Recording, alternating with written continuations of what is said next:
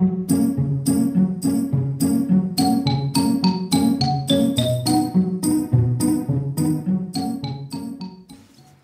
everybody to the Art Lab in a Box. My name is Sam and we're back here again to make more things. So in this box there's a very special puppy surprise and I'm gonna open my box and find out which one I got. Let's see. Yes! It's one I love. It's a Chihuahua. A tiny little Chihuahua. I love these dogs because they're so cute. You can bring them anywhere. Usually they're pretty nervous dogs, but which dog did you get? Maybe a pug, maybe a basset hound. I think there was three different kinds, a chihuahua, a pug, and a basset hound. So um, yeah, take yours out. For this box, we are gonna be making things for our puppy so that our puppy has the best life because we adopted him, so now he is our puppy. Okay, so for the first activity, what we need, let's get some things out. First, we need our puppy adoption certificate so we can name our puppy and have our certificate so we know that this puppy is definitely ours. And then we're also going to need to get out this blue striped bag. Inside, you will find two white pipe cleaners, a piece of elastic string,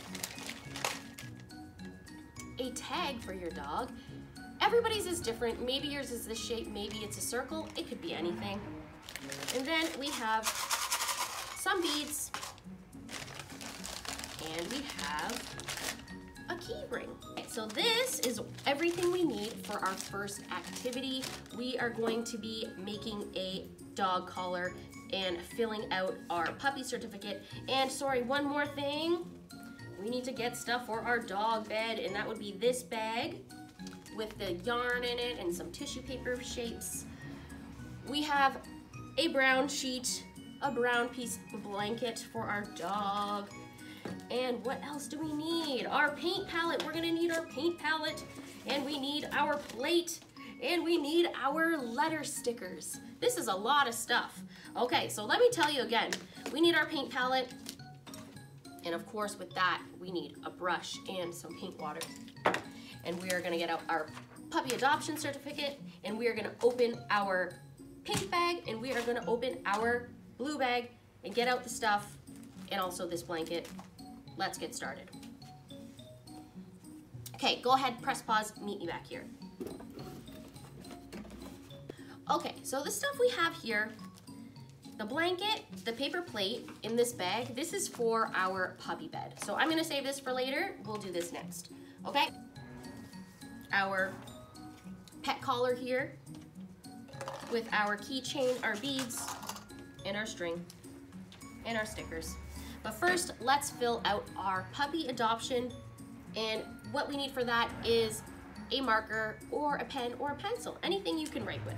Okay, so here we are gonna write our pet's name.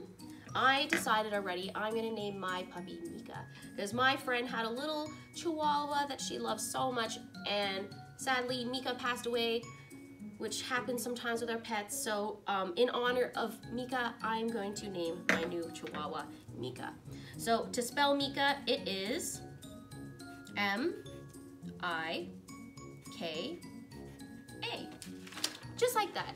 You name your puppy whatever you want. If you're not sure about the spelling, you can ask a parent or an adult or an older sibling how to spell, okay? And if you're not sure how to do a specific letter, just look at your stickers. They have all the letters on it if you don't remember how to do it.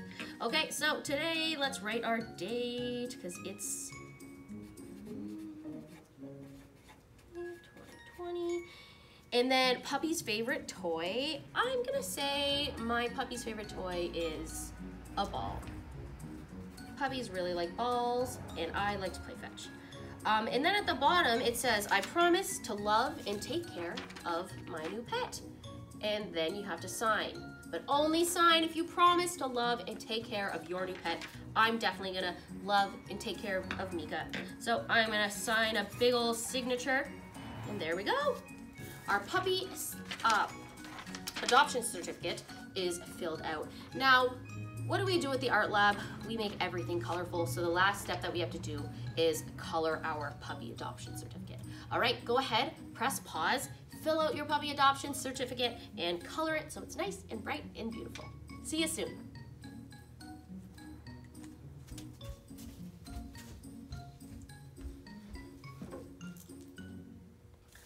Okay, I am all finished with my pet certificate. It's nice and bright and colorful and ready to be kept. All right, so the next thing, let's do, let's make our puppy's collar.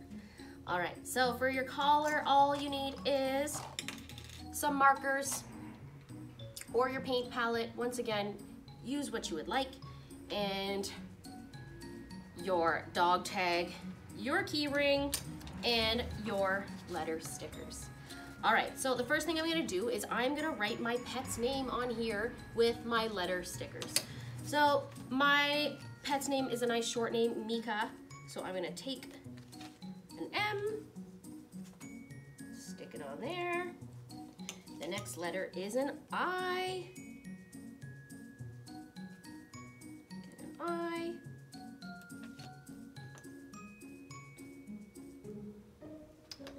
letter is a K.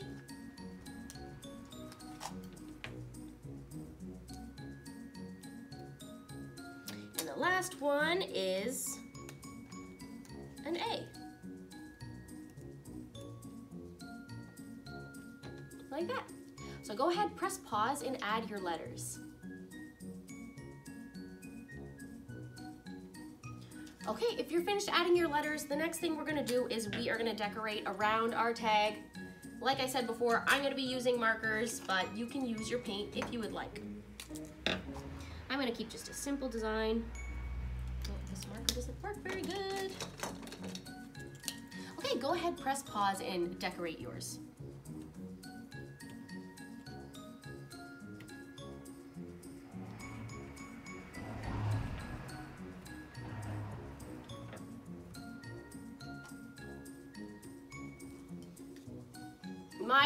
Tag is decorated. It looks really good. Now let's add on our string. Okay. So we're gonna put our string through the hole of our tag, okay? So go ahead and do that and then we're gonna tie it in just a regular knot so it doesn't fall. All right, go ahead, press pause and add your string. Okay, now we added our string. Let's get some beads on here so our dog can be so stylish. Like that, okay? So I'm gonna open this up and start to put beads on my black string. If the end of yours is frayed, then all you have to do is get some scissors and just trim the tip a little bit like that so it's easy to get the beads on. All right, and then start filling it up, okay? Go press play, I mean press pause, and then play again when you're done adding your beads, okay? See you soon.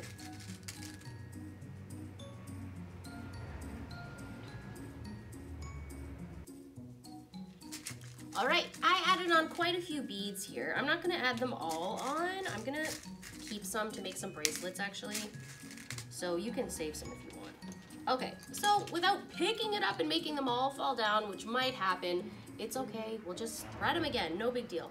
Okay, now it's time to put our collar on our dog. What do you think, Mika? Do you like it? Yes, okay.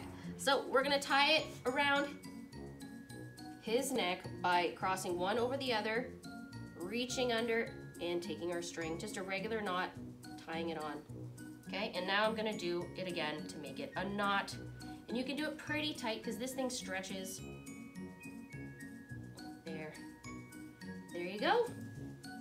How does he look? So cute. Hi, Mika. Adorable. Okay, now I have these extra strings. I'm gonna trim them and I'm gonna save my extra pieces for next time if I wanna make jewelry for myself because you always, you need stretchy cord sometimes and I don't have it. So perfect, save this for later. Go ahead, press pause and put your puppy's collar on your puppy and press play when you're done.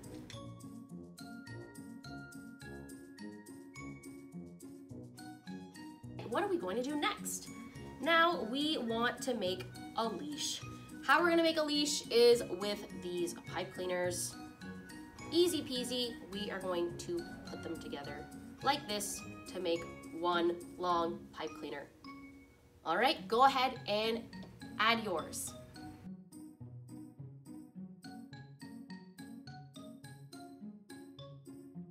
Our pipe cleaner is nice and long, it's nice and sturdy. Now all we have to do is tie it onto our dog's collar by putting it in and twisting it around however you can get it on there.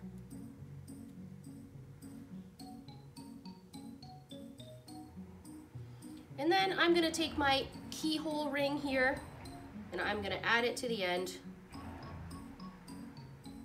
So now we have a leash for our dog. Perfect. All right, go ahead, press pause and add your leash on your dog.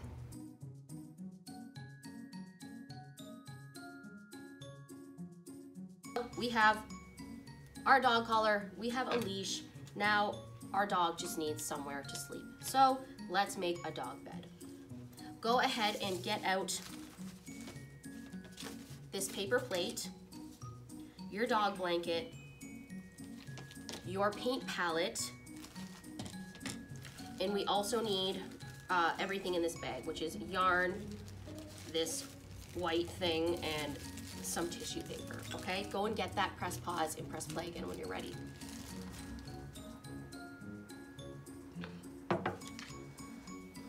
Okay, friends, here we are. I brought us in a little closer so we could see.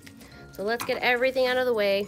First thing we're gonna make is our puppy's blanket. So what we need for that is our brown piece of fabric. I'm making mine a little smaller because it was a little too big. And this is simple. We are just going to paint our blanket. The thing is, is because this is a dark color, we need to add lots of paint. So if you just get your paintbrush wet and do like one touch, it might not be that dark. So if you get lots of water and keep rubbing in here many times, the paint will be nice and dark.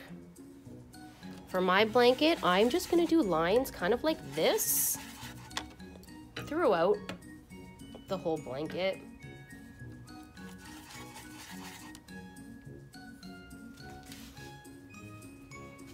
Until my whole blanket is covered in these fun lines. But you can do polka dots, you can do a picture, you can write letters, you can do anything you want on here. This is just what I'm choosing to do. So go ahead, you can press pause and finish painting your entire blanket and then press play again when you're done.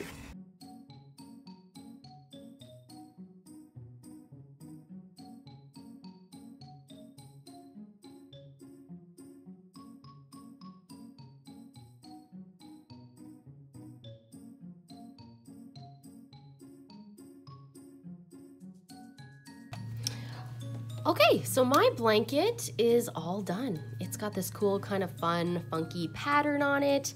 And let's see, Mika, what do you think? Do you like it? Yes, it's awesome. Just kidding, that was me. Okay, so that's my blanket. I hope yours is looking great. So let's add our blanket to our puppy so it can dry over here. And let's move on to the next thing, which is making puppy's bed. All right, so get out your paper plate and the rest of your stuff. We still need our water. I'm gonna show you why in a little bit, all right?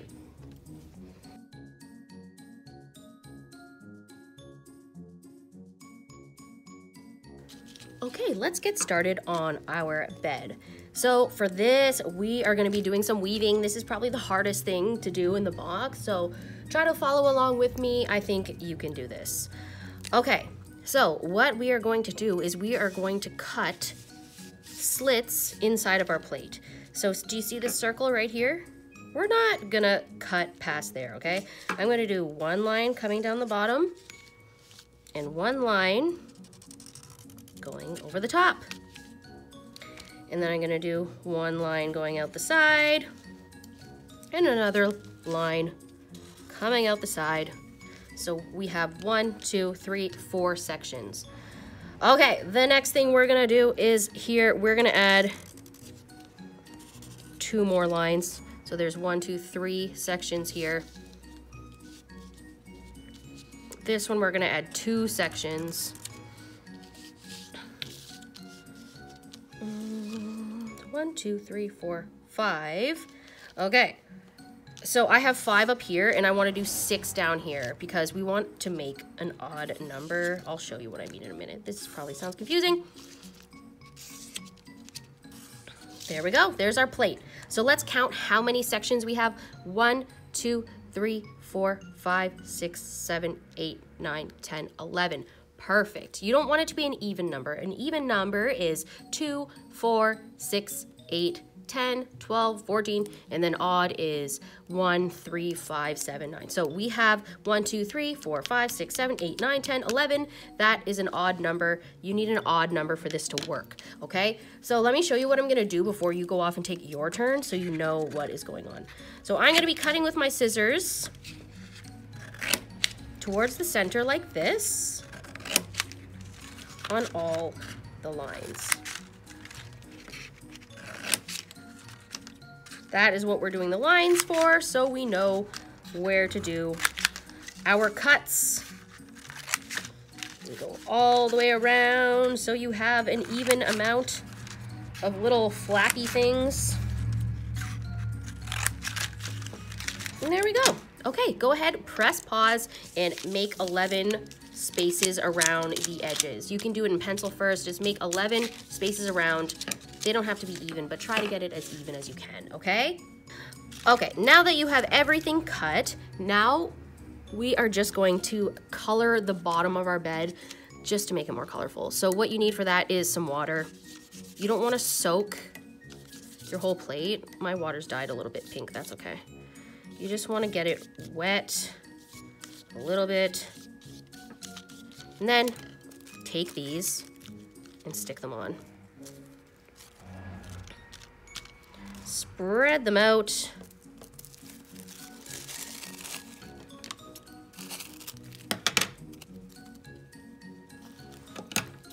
This piece is kind of big, so I'm gonna make it a bit smaller.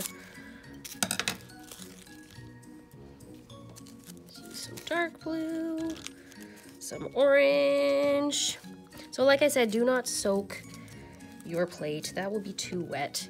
Just enough to get these to stick on.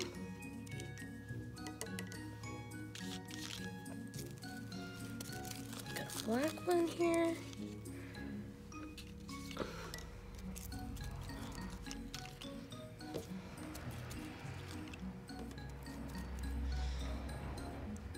Okay. So we're gonna let these go on here if they're still dry. Add a bit of water. Wait a second, make sure it's all soaked through.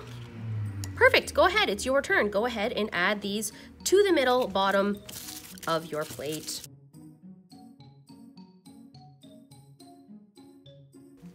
Okay, once you finish that, now this is the fun part. We get to peel away the pieces and see the colors that it left behind. Ooh.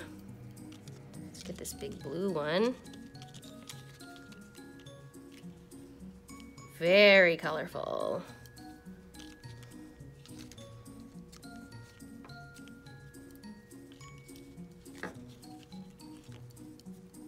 Kind of looks like watercolor, doesn't it? Peel it off if it's stuck on there. Sometimes it looks like there's not even anything stuck to it at all. Right, let's get this thing off.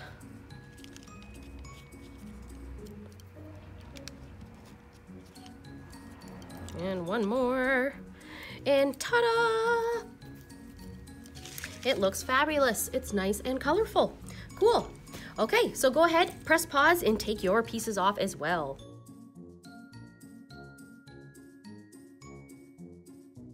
Now we have a nice colorful bottom of our bed. Let's fold up some of these pieces here. Wait till your plate dries though, because if it's wet, it can rip easily. All right, now let's get our plate, let's bend some of these things ready to go. And now let's get our yarn. Try to find the end. Here is mine.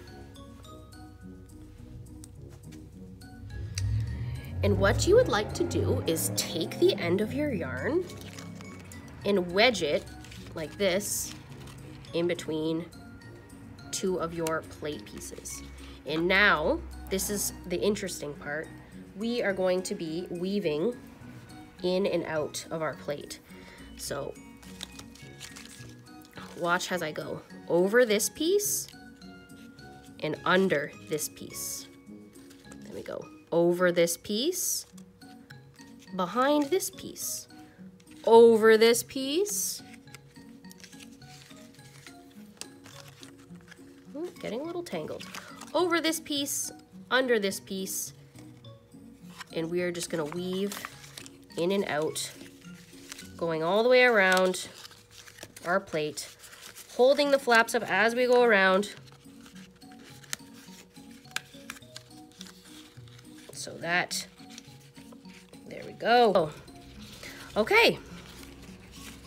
We've made it all the way around successfully. Now we're just gonna keep going. So this time, let's see, goes through there, goes back around the front, and then goes behind this one now, goes back in front of this one, behind this one, and in front of this one, and we are just gonna keep going all the way around, holding the sides up as we go until we are fully covered, okay? If your yarn gets a tangle, just cut it and tie it back in a knot, okay? No use fussing trying to untangle it, all right? Go ahead, do yours, and I'll meet you back here when I'm done mine.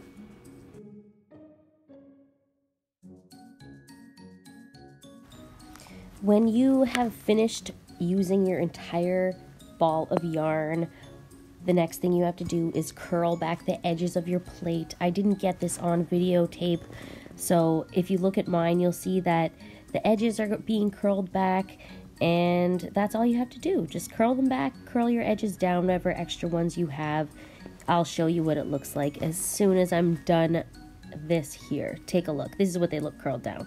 All right, there we have our dog bed. It looks so soft and so squishy and it's colorful. Let's see if my dog fits on it. Come on, Mika. Do, do, do, do, do. And perfect. Okay, now let's try your blanket on. Perfect. There is Mika looking great. Now let's make Mika a little name tag for their bed using our letter stickers again. Go ahead. Okay, Mika, I think you are all set. You look so fabulous. Your bed is amazing. Your blanket is amazing. I think you're a very happy puppy. All right, great. My puppy here looks very happy. He's totally decked out in all his cool stuff. His bed is looking amazing. He's got a new name tag and he is one very happy, warm puppy. Good job, everybody. It's time to tidy up our mess now and go to play with our puppies. Have a great day, and I'll see you next time. Bye.